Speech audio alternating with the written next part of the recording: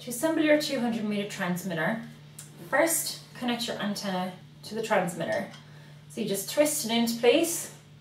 Make sure you do this before you power it on because it will damage the unit.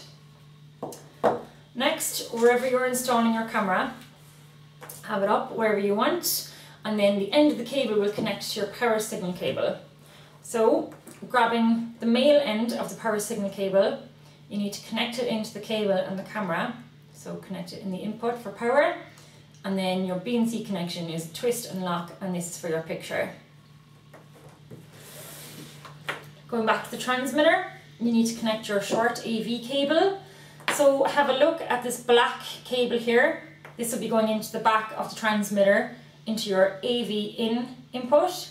Have a look at the patterns on each and they you need to line them up correctly.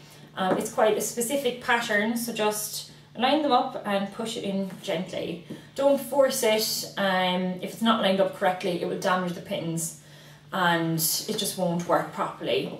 So then grabbing your yellow end of this AV cable, go back to your power signal cable that the camera is connected to and your loose end will connect into your BNC again for picture, twist and lock. And then you'll need to power your camera and your transmitter. So you will either get a power supply with a splitter, so this is a two-way splitter. So you pop one end into the transmitter to power that, and then the other end will go into the power input on your power signal cable and this will power your camera.